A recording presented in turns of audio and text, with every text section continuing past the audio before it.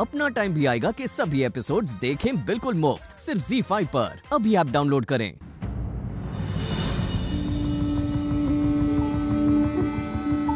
किसी गलत फहमी में मत रहना दीदी। मैं ज़्यादा दिनों के लिए नौकरानी नहीं बनी हूँ। हुकुम ने कहा ना ये नाटक उनके माँ पिताजी के चले जाने तक का है। हमें कोई फ़र्क भी नहीं पड़ता। जब हमारे पति इस लायक नहीं है कि हम उनसे कोई उम्मीद करें तो तुमसे तो हम क्या ही उम्मीद करेंगे? बढ़िया है।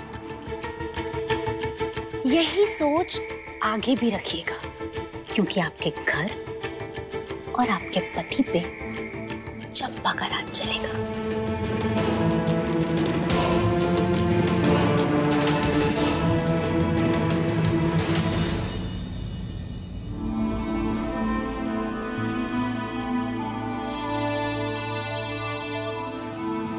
नंदनी बेटा।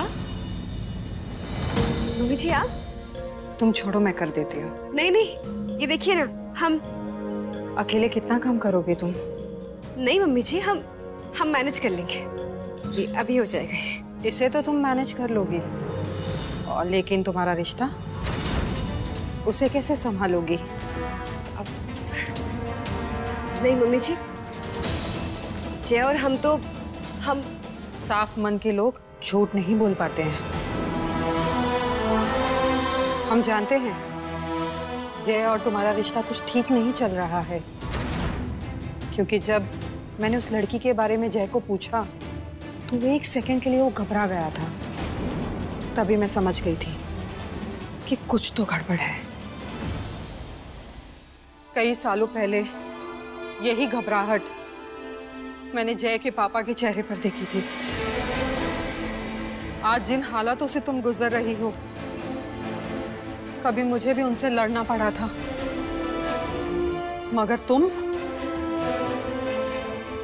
तुम तो आज के जमाने की लड़की हो ना? तो तुम भी क्या वही गलती करोगी, जो मैंने कई सालों पहले की थी? तो लड़ो बेटा, लड़ो। अपने रिश्ते की दिक्कतों को समझो, पहचानो उसे और जड़ से मिटा दो। क्योंकि कुछ ना करना, हार को गले लगाना है। बाहर वाले चाहे जो कुछ भी बोले, अपना पति अपना होता है। तुम सोच रही होगे कि हम जय को क्यों नहीं समझाते?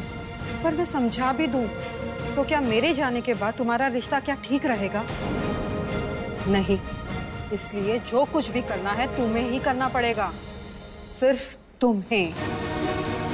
ये चादर तुम्हारे रिश्ते के बीच में आई हुई वो दूसरी औरत है। तो लगा दो अपना दम।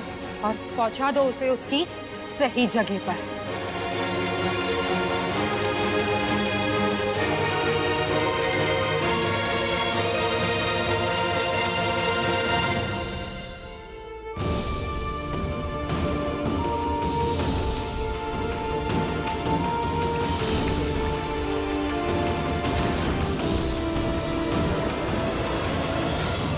अब तुम जानती हो तुम्हें क्या करना है?